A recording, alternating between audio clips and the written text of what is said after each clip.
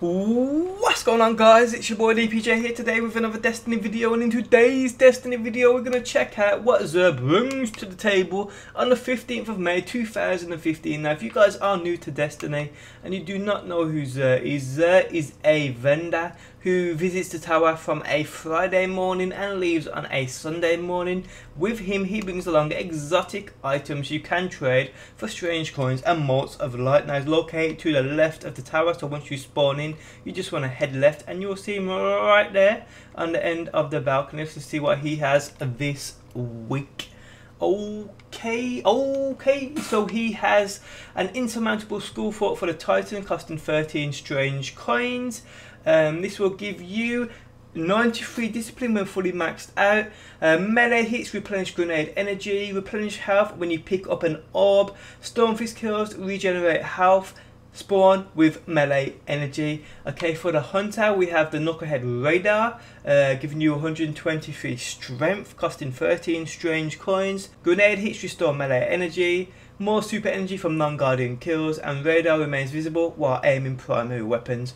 Okay, for the warlock we have the Apotheosis Veil. Uh, this will give you 117 discipline when fully maxed out. It will cost you 13 strange coins. Melee hits, replenish grenade energy, replenish health when you pick up an orb, and activating your super regenerates your health. Okay, the weapon of the week is the Truth Rocket Launcher. A rocket launcher I actually really like. This will cost you 17 strange coins. Rounds fired from this weapon seek their targets aggressively. Rockets from this weapon will detonate early based on proximity to targets.